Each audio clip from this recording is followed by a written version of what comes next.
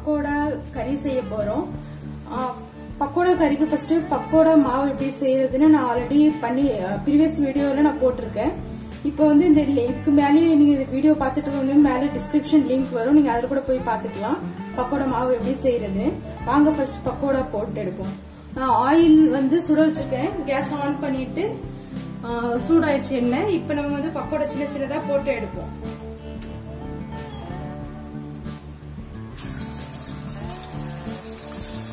மாதிரி சின்ன சின்னதா பக்கோடா போட்டு நம்ம எடு- எடுப்போம். அதுக்கப்புறம் கிரேவி எப்படி செய்யுதுன்னு நான் சொல்றேன்.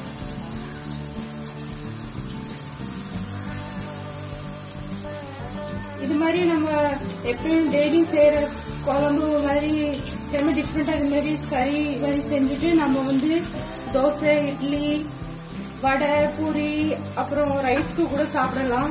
டிஃப்ரெண்டா இருக்கும்.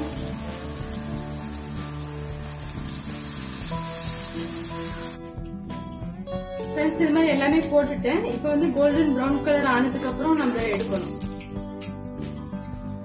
ஃப்ரெண்ட்ஸ் பக்கோடா ரெடி ஆயிடுச்சு. பாத்தீங்கன்னா கோல்டன் ப்ரௌன் கலர்ல ஆயிடுச்சு. இந்த ஸ்டேஜ்ல நம்ம எடுத்துடணும்.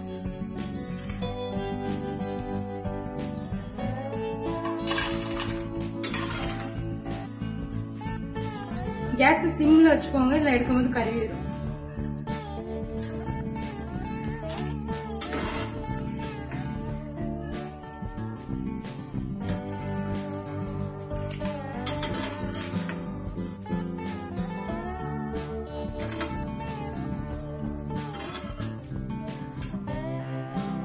ஃப்ரெண்ட்ஸ் பக்கோடா நம்ம வந்து வறுத்து எடுத்து வச்சாச்சு. அதுக்கப்புறம் கிரேவி செய்யறதுக்கு என்னென்ன வேணும்னு பார்த்தீங்கன்னா ஆயில் ஒரு டீஸ்பூன் ஏன்னா நம்ம வந்து பக்கோடா எண்ணெயில தான் வறுத்து எடுத்துருக்கோம். ஸோ ஆயில் நான் கம்மியாக எடுத்துக்கிறேன்.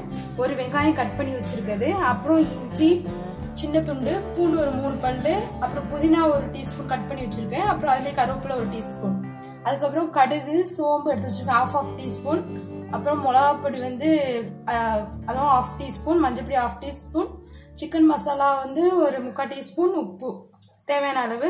அப்புறம் தக்காளி நான் வந்து பேஸ்ட்டாக எடுத்து அரைச்சி எடுத்து வச்சுருக்கேன். வாங்க இப்போ கடாயை ஆன் பண்ணிவிட்டு எப்படி செய்யலாம்னு பார்ப்போம். ஃப்ரெண்ட்ஸ் இப்போ வந்து ஆயில் ஒன் டீஸ்பூன் ஆட் பண்ணிக்கிறேன்.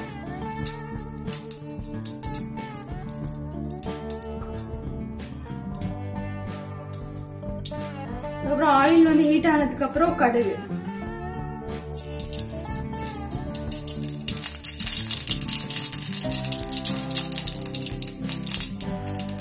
கடுகு வெடிக்குது இப்ப சோம்பு போடுறேன்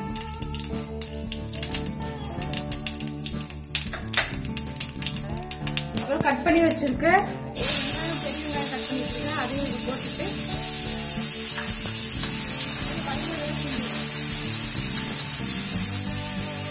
வெங்காயம் லைட்டா வதங்கிடுச்சு. இப்ப வதங்கினதுக்கு அப்புறம் இஞ்சி பூண்டு புதினா புதினா கொஞ்சம் போட்டேன் லாஸ்ட்ல கொஞ்சம் போட்டு வச்சுருவேன் கருவேப்பிலை. போட்டுட்டு இப்போ வதக்கிடுவேன்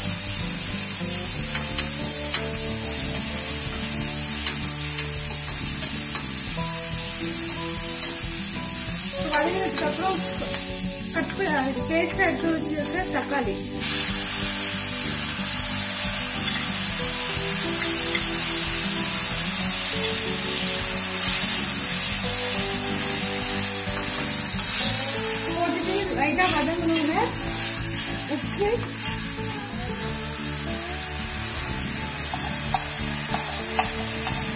உப்பு ஒரு டீஸ்பூன் இருக்கு. உங்களோட எவ்வளோ டேஸ்ட்டுக்கு எவ்வளோ வேணுமோ எடுத்துக்கோங்க மிளகா பொடி மஞ்சள் பொடி சிக்கன் மசாலா மூணு ஆட் பண்ணுங்க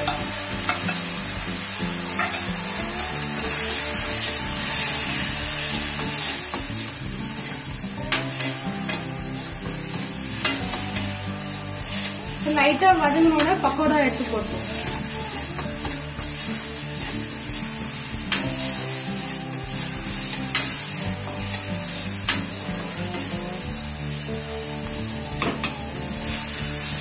கிரேவிக்காக லைட்டா தண்ணி ஆட் பண்ணிக்குவோம்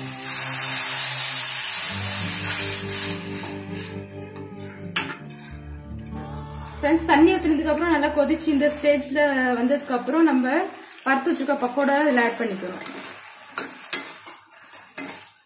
இது போட்டுட்டு நல்லா அந்த தண்ணி காய்கறி எல்லாமே இதுல மிக்ஸ் ஆகும் ரெண்டு ரெண்டு நிமிஷம் வைப்போம் இது எல்லாமே ஒண்ணு கொண்டு மிங்கிள் ஆனதுக்கு அப்புறம் கேஸ் ஆஃப் பண்ணுவோம் ஃப்ரெண்ட்ஸ் ஃபைனலாக இந்த ஸ்டேஜ் வந்ததுக்கு அப்புறம் நம்ம ஆஃப் பண்ணிடுவோம். கிரேவி லைட்டா இருக்கு. உங்களுக்கு வேணா இன்னும் கொஞ்சம் தண்ணி கூட ஊத்திக்கலாம். இதுல வேணா நீங்க உருளைக்கிழங்கு கேரட் கூட போட்டுக்கலாம். இப்ப கேஸ் ஆஃப் பண்ணிட்டு பிளேட்டிங் பண்ணிடுவோம் ஃப்ரெண்ட்ஸ் ஃபைனலா வந்து பக்கோடா கிரேவி ரெடி ஆயிடுச்சு. நீங்க இது பக்கோடா கிரேவின்னு சொல்லலாம் பக்கோடா கறி கூட சொல்லலாம். இது நீங்க வந்து இட்லி தோசை ரொட்டி சப்பாத்தி அப்புறம் பூரி சாப்பாடு கூட சாப்பிட்டுக்கலாம் நல்லா இருக்கும். எப்பயுமே நம்ம ஒரே குழம்பு வச்சு சாப்பிட்டு ரொம்ப போரிங்கா இருக்கும். ஸோ லாக்டவுன் டைம்ல நம்மளுக்கு வந்து கிடைக்கிறத வச்சு நம்ம வந்து டிஃப்ரெண்டா சமைச்சு சாப்பிடுவோம். நம்மகிட்ட என்ன திங்ஸ் இருக்கோ அதை வச்சு நம்ம குழம்போ பொரியலோ எது வேணாலும் வச்சு சாப்பிடலாம். ஸோ இன்னைக்கு இந்த இது மாதிரி நீங்களும் உங்க வீட்டில் ட்ரை பண்ணி செஞ்சு சாப்பிடுங்க. ரொம்ப டேஸ்டா இருக்கும். அப்புறம் நெக்ஸ்ட் ஒரு இன்ட்ரெஸ்டிங்கான வீடியோவில் சந்திப்போம். Okay bye friends